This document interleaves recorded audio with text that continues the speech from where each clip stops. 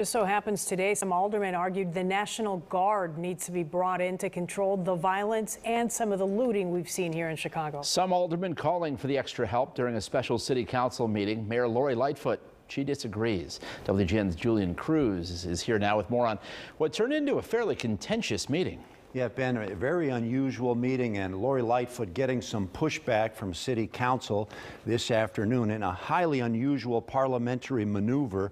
A small group of city aldermen forcing today's special city council meeting, but their effort to bring about a vote on bringing the National Guard to Chicago, for now at least, falling short. So there's no debate on the motion? Madam Clerk, please call the roll. This is not Alder- a dictatorship, Madam President. This is democracy, and I would like to speak on the motion. Alderman Anthony Beale among a group of four Chicago aldermen forcing today's special meeting of the City Council. The first wave of looting, 300 National Guards were called in to protect downtown. Well, my community wants to be protected as well. we are in a state of emergency in the city of Chicago. We have been three months since the rioting and looting that took place at the end of May, the beginning of June, when questions were first asked what's the plan?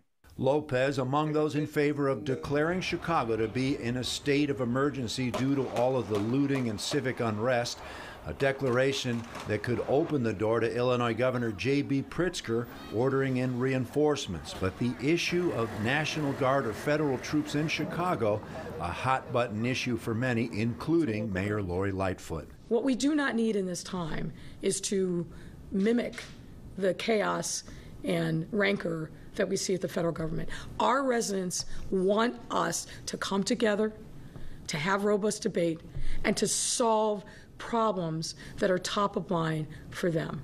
A month ago, President Donald Trump ordering federal agents to American cities, including Chicago, despite the resistance of municipal leaders. Mr. Trump campaigning on a law and order platform. You may remember Lightfoot pushing back hard on the notion of federal troops or the U.S. military patrolling Chicago streets. Nobody wants the National Guards patrolling, but Beale and others falling short in their bid for a vote. The city council voting 30 to 17 to send the contentious matter to committee. Lightfoot earlier this week accusing those pushing for the National Guardsmen of grandstanding, but she promises that when the time comes, there will be vigorous debate. But that's democracy. Democracy is messy. That's, I think, the beauty of our system. Everyone can have a seat at the table. But it's got to be done in a way that is actually constructive, and particularly in these times.